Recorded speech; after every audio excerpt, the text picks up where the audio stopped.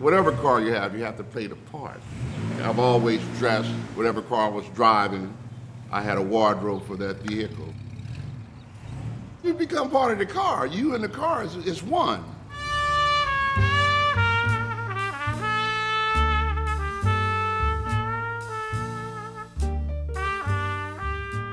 My name is Winston Dabbs, and I drive a 1955 uh, XK140 drophead coupe. Well, I've owned the 140 probably 20, 25 years, and the roadster I just recently got probably about a year and a half ago. If it's mechanical, electrical device on this planet, I can build it and I can fix it. A helicopter, a jet plane, a diesel truck. People used to come over to my apartment and I have all these car parts laying around in the apartment. They said, what you doing all these car parts? And I said, well, that's my car. Come back in two weeks, I'll give you a ride. This car came out of a trailer park across from the Compton Airport under a pecan tree, wrecked and all tattered, weather beaten, you know, and I just took it and assembled it and found the parts that I need. I found a good trimmer, put my top and headliner and stuff in. I had it all painted. Well, it all started back in the 70s. A friend of mine, I think, sold me a Bug-Eye Sprite for $75. Well, in that period in Compton, a lot of blacks owned uh, Jaguars and foreign cars of all sorts and it was, I guess, a status symbol of success. So I started collecting and building Austin Healey, sold a lot of them, built a lot of them.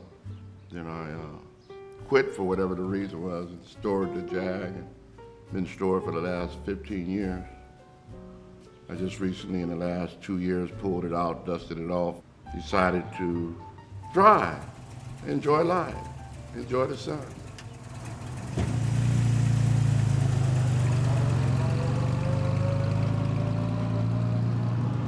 Early Jaguars were handmade.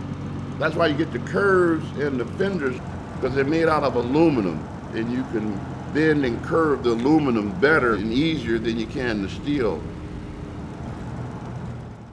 Well, Jaguar was the first production race car that you can buy off the showroom floor.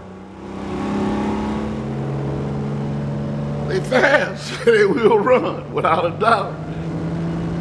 I've been up to about 90 miles an hour, 95, and uh, the front end get a little squirrely, and you don't really want to take it too much faster than that.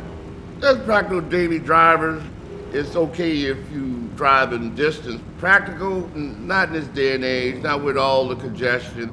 People like to zero in on cars like this, stage accidents and do all kind of crazy stuff or whatever. So it's not a really a good thing to do. I just drive mine to different events and different car shows and stuff like that to keep the battery charged up, the oil circulating, and the wheel cylinders from leaking. Because British cars in general, if you let them sit up, they will deteriorate. So I try not to flaunt. Look at me, I drive a Jag. I let the car do all the talking. People ask me, is that your car? I say, no, I just wipe it off, I keep it clean. The roads are dirty. And that was part of the reason why I painted the wheels white.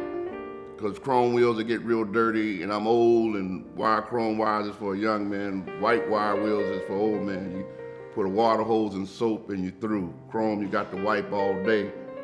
But they pick up a lot of dirt on the wheels.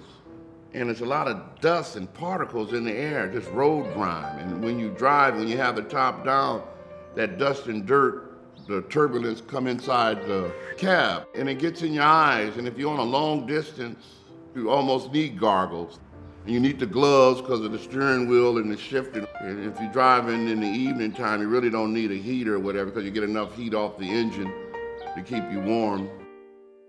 But uh, it's just part of the, the romance of the vehicle.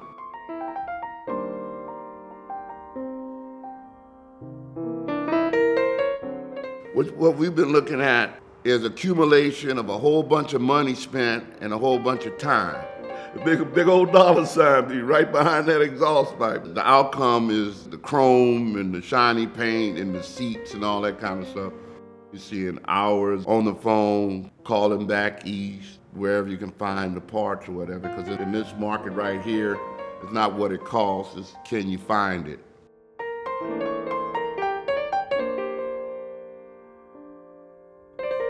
Right now I'm in, uh, in the, say the highlight of my life. I'm on, on the downhill side and I'm just enjoying life as, as it's to be. And fortunate enough, I kept a vehicle that now is worth a whole ton of money. If I really know that the car was value of it like it is right now, to put a more exotic paint job on it, I would have completely disassembled the car, but I didn't do that. I just sprayed the frame and replaced all the rubbers and all the seals and gaskets I've been driving the car because there's no sense of having a car that you look at and see how beautiful it is if you can't get in and go to San Francisco. Like right now, you say, let's go to Frisco.